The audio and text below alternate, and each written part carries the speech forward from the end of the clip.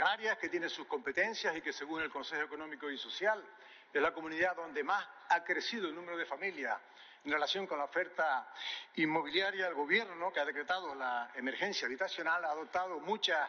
medidas para paliar una situación que se ve agravada por dos razones. Una, por el crecimiento exponencial de la población, vía migración regular en este caso, y dos, por la masiva adquisición de vivienda por parte de extranjeros. Y es por eso que el candidato de coalición canaria, Carlos Alonso, a las elecciones europeas en su programa, el único netamente canario, lleva entre ellas limitar el acceso a la adquisición de vivienda de extranjeros en Canarias y, por qué no, que se exploren las posibilidades de una ley de residencia en Canarias por razones de interés general. Ya sé que nos dirán